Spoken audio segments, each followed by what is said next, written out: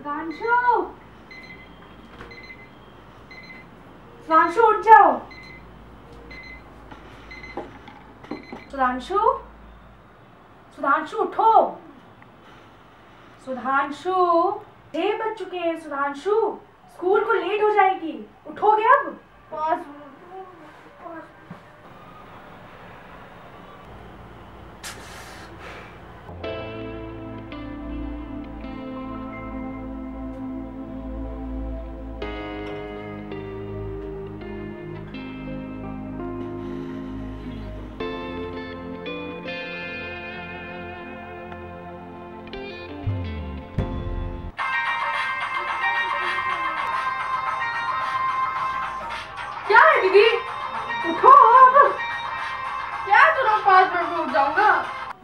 आधे घंटे से कह रहे हो छह बज चुके हैं स्कूल नहीं जाना है क्या क्या तो रात नौ बजे का स्कूल है दीदी मैं मतलब उठा दी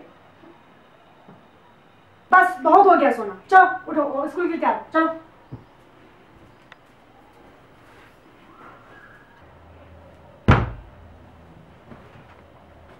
Unbelievable discovery that Robert Reply made on his travel was the frontal head of South America.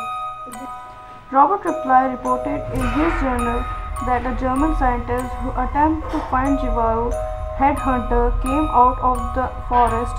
Robert Reply reported in his journal that a German अरे जब इतना ही डर लगता है तो इतनी फालतू बुक्स क्यों पढ़ते हो एक्सक्यूज मी ये कोई फालतू बुक नहीं है ये इतनी इंटरेस्टिंग बुक है तुम्हें पता है ओह रियली अच्छा ठीक जरा बताना तो क्या इंटरेस्टिंग है इस बुक में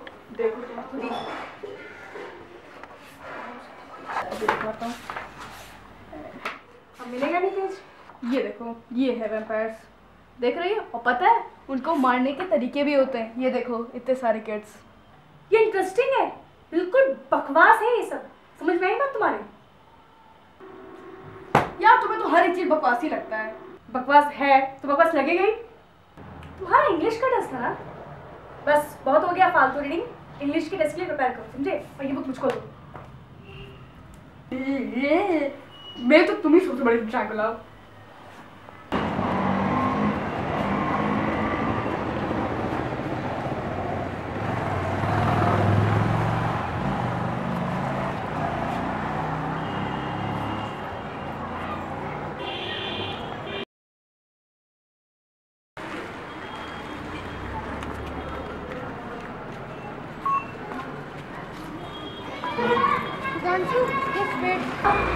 आप क्या हो इधर आओ। इतनी जल्दी में कहा है? कहाँ जाऊँगा? घर ही जाऊँगा और कहाँ? यार तुझे मुझे एक इंटरेस्टिंग चीज़ है। क्या? रुक दिखाता हूँ मुझे ये देख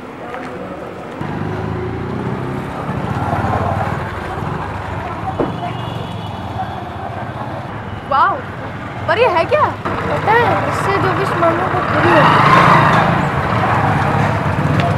पागल है क्या? ये कछुआ विश पूरी करेगा। अच्छा वैसे तूने क्या मांगा? बता जरा।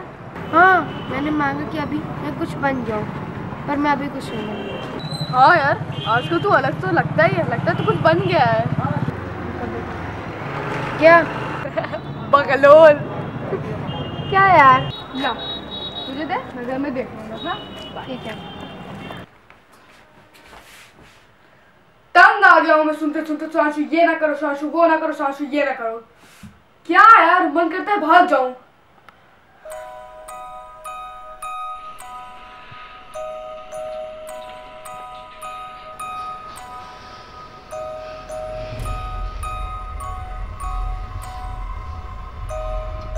काश मेरी कोई भी दीदी ना होती। सुधांशु सुधांशु। उठ जाओ बेटा सुबह हो गई है उठ जाओ। उठो बेटा सुधांशु उठो बेटा स्कूल को देर हो रही है। उठो बेटा उठो। सुधांशु आ जाओ नीचे नाश्ता तैयार है। आ जाओ नीचे नाश्ता करो बेटा। आ जाओ। दीदी का उम्र दीदी ने जगाने आई आज अरे बेटा दीदी कहाँ है? सपना देख रहे हो क्या? एक बदजुबान औरत उसके पति ने उसका मार मार कर खुदकुश बनाया पापा दीदी कहाँ है बहुत देर से नहीं दिखाई दे रही है। सपना देख रहे हो क्या बेटा?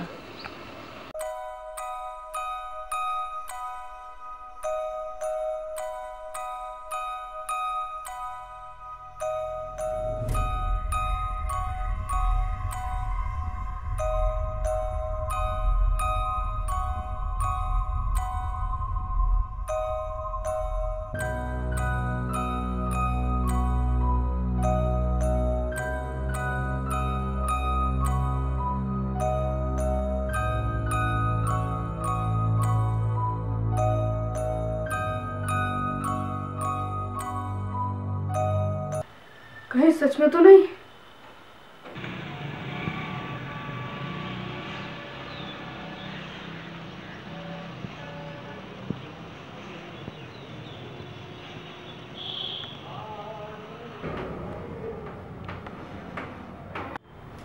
आप सभी अपनी बुक्स लाए हैं? आज हम लोग कविता पढ़ेंगे मेरी बहना।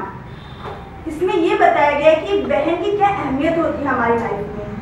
कैसे छोटी छोटी ज़रूरतों का हमारा ख्याल रखती है? मम्मी पापा से वक्त आने पे जब हमें डांट पड़ने वाली होती है तो हमें बचा लेती है।